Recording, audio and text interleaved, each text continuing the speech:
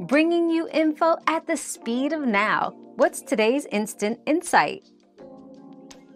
Understanding the five love languages words of affirmation, quality time, receiving gifts, acts of service, and physical touch can deeply enhance your relationship. Identify your partner's love language and express love in ways that resonate most with them. Communicate openly about your own needs and appreciate efforts.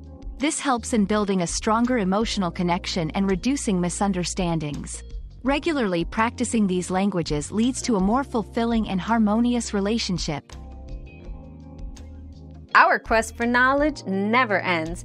Thanks for being part of today's discovery. Subscribe, like, and share to join us on the next one.